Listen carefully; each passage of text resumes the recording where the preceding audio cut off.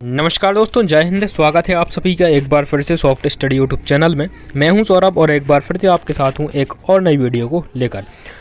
तो दोस्तों, आज की इस वीडियो में हम बात करने वाले हैं आईटीबीपी के द्वारा कुछ हेड कांस्टेबल के पदों पर वैकेंसियाँ निकाली गई हैं। तो इस वैकेंसी के रिगार्डिंग कंप्लीट डिटेल इन्फॉर्मेशन आपको इस वीडियो में मैं प्रोवाइड कराऊँगा।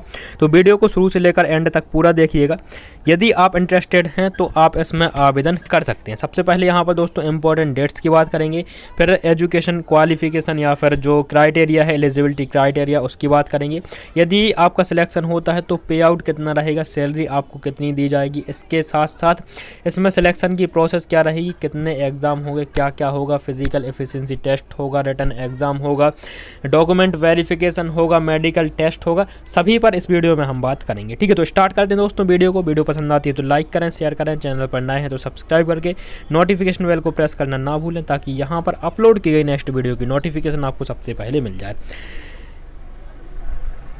तो दोस्तों आईटीबीपी मतलब Indo Tibetan border police force basically ये जो Indo Tibetan border police force है, ये सेंट्रल आर्म्ड फोर्सेज के अंतर्गत ही आता है। और यदि सिलेक्शन होता है तो भारत तिब्बत की जो सीमा होती है, वहीं पर आपको सेवाएँ देनी होंगी।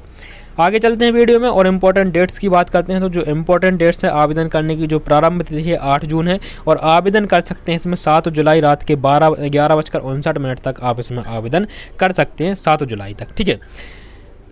ये हुई दोस्तों इंपॉर्टेंट डेट्स और इसके अलावा बात करते हैं एलिजिबिलिटी क्राइटेरिया की। तो देखिए मेल और फीमेल कैंडिडेट दोनों ही इसमें आवेदन कर सकते हैं। 18 से 25 वर्ष यदि आपकी आयु है तो आप इसमें आवेदन कर सकते हैं। एज रिलैक्सेशन भी इसमें प्रोवाइड कराया गया है एस सी के लिए पाँच वर्ष का ओबीसी के लिए तीन वर्ष का एक्स सर्विसमैन के लिए यहाँ पर तीन वर्ष का। ठीक है तो जो मैक्सिमम एज है उसमें आप रिलैक्सेशन कैटेगरी वाइज जो यहाँ पर रिलैक्सेशन प्रोवाइड कराया गया है, उसको भी आप मैक्सिमम एज में ऐड कर सकते सकते हैं। ठीक है तो यहाँ पर हो जाएगा एस सी एस टी में यदि हम पाँच वर्ष और ऐड कर देते हैं, अठारह से तीस हो जाता है ओ बी सी अठारह से अट्ठाईस हो जाता है, और यहाँ पर एक्स सर्विसमैन भी अठारह से अट्ठाईस जो है, एज लिमिट आपकी हो जाएगी।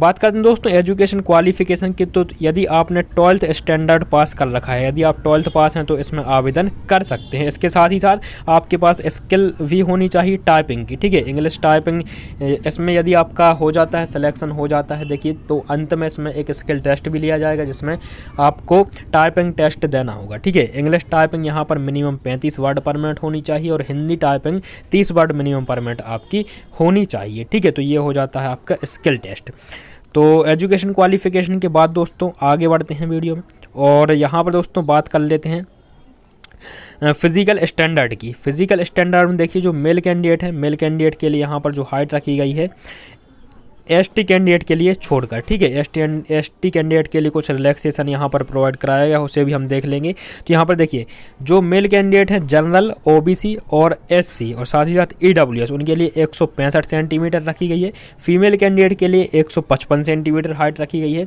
और मेल कैंडिडेट के लिए यहाँ पर जो चेस्ट की जो चेस्ट की रखी गई है यहाँ पर क्राइटेरिया तो सतहत्तर सेंटीमीटर रखा गया है। चेस्ट होना चाहिए आपका और बिना फुलाए और एक्सपेंड करने के बाद मतलब फुलाने के बाद बयासी सेंटीमीटर होना चाहिए, ठीक है? इसके अलावा दोस्तों, एसटी कैंडिडेट के लिए देख लेते हैं तो एसटी कैंडिडेट के लिए, मेल कैंडिडेट के लिए एक सौ बासठ सेंटीमीटर, फीमेल कैंडिडेट के लिए एक सौ पचास सेंटीमीटर और चेस्ट के लिए चेस्ट के लिए जो है छिहत्तर सेंटीमीटर बिना फुलाए और फुलाने के बाद में इक्यासी सेंटीमीटर केवल मेल कैंडिडेट के लिए, फीमेल कैंडिडेट के लिए चेस्ट का कोई स्टैंडर्ड नहीं होता है, ठीक है? तो उम्मीद दोस्तों इसे आप समझ पाए होंगे।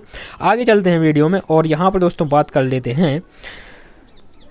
यहाँ पर दोस्तों देखते हैं सिलेक्शन प्रोसेस की। सिलेक्शन प्रोसेस बताने से पहले मैं आपको इसमें पोस्ट बता देता हूँ। पोस्ट कितनी है? तो देखिए, इसमें टोटल दोस्तों जो नंबर ऑफ़ पोस्ट हैं कितनी है? नंबर ऑफ़ पोस्ट हैं दोस्तों 248 ठीक है? 248 टोटल पोस्ट हैं जिसमें हेड कांस्टेबल की यहाँ पर पोस्ट रहेगी। मेल कैंडिडेट के लिए 135 पोस्ट रहेंगी। कैटेगरी वाइज आप यहाँ पर पोस्ट देख सकते हैं। रिज़र्व के लिए 55 एससी के लिए 22 एसटी के लिए 20 ओबीसी के लिए 24 और ईडब्ल्यूएस के लिए 14 पोस्ट यहाँ पर क्या किया गया है? रिज़र्व की गई हैं। और हेड कांस्टेबल फीमेल कैंडिडेट के लिए यहाँ पर टोटल तेईस पोस्ट रहेंगी, जिसमें अनरिजर्व के लिए दस एससी के लिए चार एसटी के लिए तीन और ओबीसी के लिए चार और ईडब्ल्यूएस के लिए दो पोस्ट रिज़र्व यहाँ पर की गई हैं। इस प्रकार से टोटल एक हो जाएँगी। इसके अलावा यहाँ पर जो नब्बे पोस्ट है ये दोस्तों एल डी सी ई के मतलब यहाँ पर एल डी सी मतलब जो ऐसे व्यक्ति जो पहले से भी आई टी में जॉब करते हैं तो ये एक डिपार्टमेंटल जो है पोस्ट है, केवल डिपार्टमेंट वालों के लिए यह रिज़र्व की गई है नब्बे, ठीक है? तो इसे भी आप समझ चुके होंगे दोस्तों। आगे चलते हैं और यहाँ पर बात कर लेते हैं सिलेक्शन प्रोसेस की। तो सिलेक्शन प्रोसेस में यहाँ पर दोस्तों देखिए, सबसे पहले आपका एलिजिबिलिटी टेस्ट होगा। एफिशिएंसी टेस्ट आपका होगा, ठीक है? एफिशिएंसी टेस्ट में क्या होगा? देखिए, सबसे पहले आपकी रेस होगी 1.6 किलोमीटर 1600 मीटर की रेस होगी। मेल कैंडिडेट के लिए साढ़े सात मिनट में कंप्लीट करनी होगी। लॉन्ग जंप और हाई जंप। लॉन्ग जंप ग्यारह फीट का रहेगा, तीन चांसेस में दिए जाएँगे। हाई जंप साढ़े तीन फीट का रहेगा और तीन चांसेस में दिए जाएँगे सभी के लिए, S C, S T O B C सभी के लिए, ठीक है?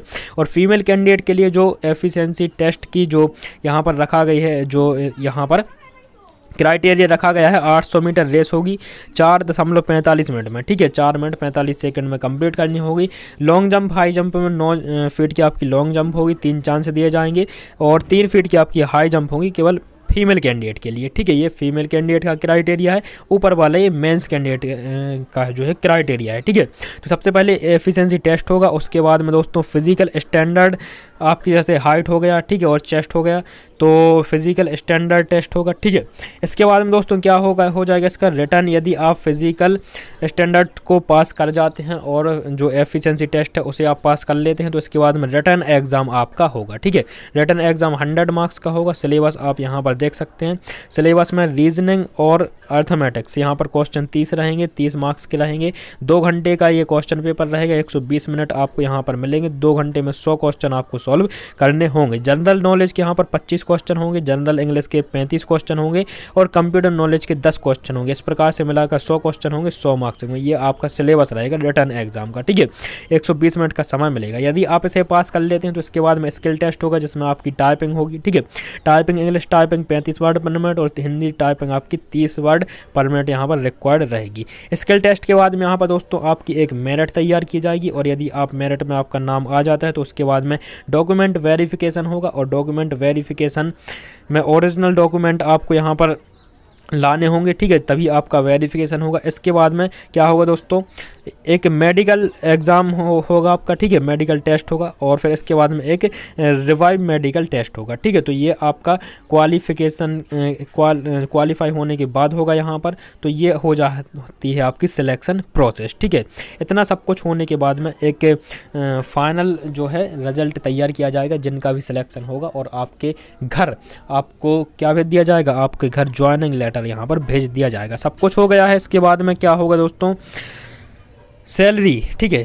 सिलेक्शन होने के बाद में सैलरी कितनी आपको प्रोवाइड कराई जाएगी? तो सैलरी आप देख सकते हैं। मिनिमम जो है सेवन्थ पे आउट यहाँ पर लागू होगा और मिनिमम रहेगी आपकी पच्चीस हज़ार पाँच सौ से स्टार्ट होगी और अधिकतम दोस्तों इक्यासी हज़ार एक सौ तक आपकी ये सैलरी पहुँच जाएगी, ठीक है? और इसके अलावा इसमें अदर जो है अलाउंस भी ऐड किए जाएँगे तो और सैलरी यहाँ पर कह सकते हैं कि घुमा फिरा कर दोस्तों कितनी? लगभग तीस हज़ार से आपकी इसमें सैलरी शुरू, की सैलरी स्टार्ट होगी, ठीक है? तो दोस्तों ये थी वीडियो। कैसी लगी आपको? कमेंट बॉक्स में ज़रूर बताना है। मुलाकात होगी नेक्स्ट वीडियो में। तब तक के लिए नमस्कार। जय हिंद, वंदे मातरम। धन्यवाद।